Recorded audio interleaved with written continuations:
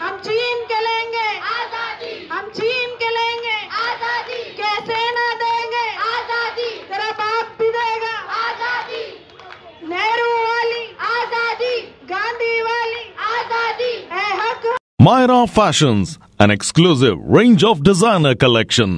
Swami Complex and Vega Mall, Ajmer.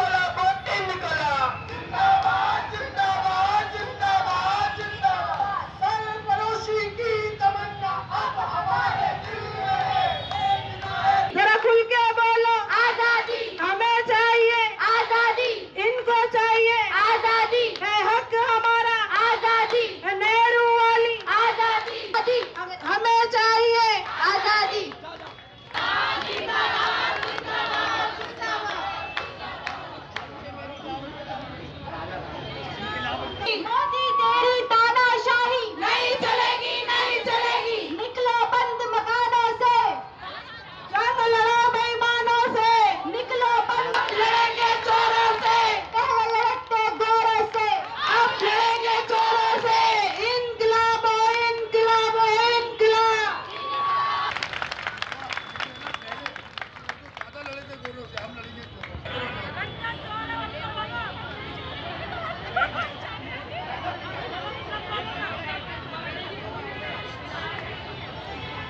हम धरने पे इसलिए बैठे हैं क्योंकि एनआरसी सीएए और एनआरपी के खिलाफ हमने आवाज़ उठाई है, जो कि हमारा हक है।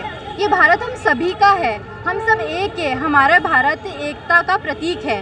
तो उस हिसाब से हम सब एक है तो ये मोदी को ये चीज़ नहीं करनी चाहिए थी कि जगह जगह ये फसाद नहीं करना चाहिए था। जब हम सब लोग शांति से घरों में बैठे थे तो उसको ये चीज़ नहीं करनी चाहिए थी। पहले वो लाया है तीन तलाक, उसके बाद बाबरी मस्जिद लाया, अब वो एनआरसी ले आया। वो पहले के तो चीज़ें भूल ही गया, निर्भया, आसिफा, प्रियंका रेड्डी, इनको भूल गया वो। और उसको ये एनआरसी और इनके पीछे पड़ गया, उसको एक ही तबका दिख रहा है। हम सब मुसलमान, हम हिंदू, सिख, ईसाई, हम सब एक हैं। हमें जुदा ना करे तो अच्छा है। और अभी तो ये ताकत और बढ़ेगी। उसे अगर ऐसा लगता है कि एनआरसी और ये सीए लागू करने से हम डर जाएँगे तो ये उसकी बहुत छोटी सोच है। और उसकी खोखली सोच है ये ऐसा कुछ नहीं होने वाला है। कब तक आपका धरना जारी रहेगा और किस किस तरीके से आप करेंगे? इनशाला हमारा धरना 18 तारीख तक रहेगा और हम हर शांतिपूर्ण तरीके से धरना करें। इसमें कोई भी हिंसात्मक तरीका कुछ नहीं अपनाया है हमने।